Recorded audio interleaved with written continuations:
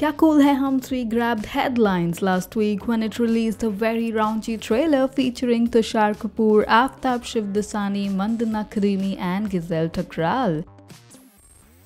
The trailer managed to grab eyeballs with the hot and steamy scenes and double meaning jokes. It seems the buzz around the film is growing day by day and the makers want to keep improving the buzz. The Kya Kool Hai Hum 3 team released a naughty motion poster first, followed by an even more erotic trailer. So what's next on the list?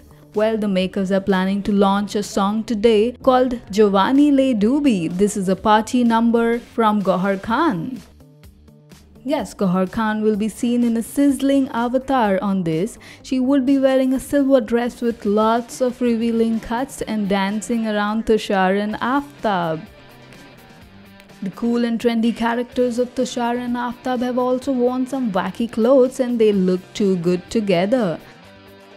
The song Jawaani Le Doobi has been sung by Kanika Kapoor and it's more of a Bangkok style song. The song sequence is choreographed by Vishnu Deva and it's one of the party numbers from this movie. The phrase Hey Jawaani Le Doobi is the catchy phrase from the song and Gauhar has made it even more special with her appearance.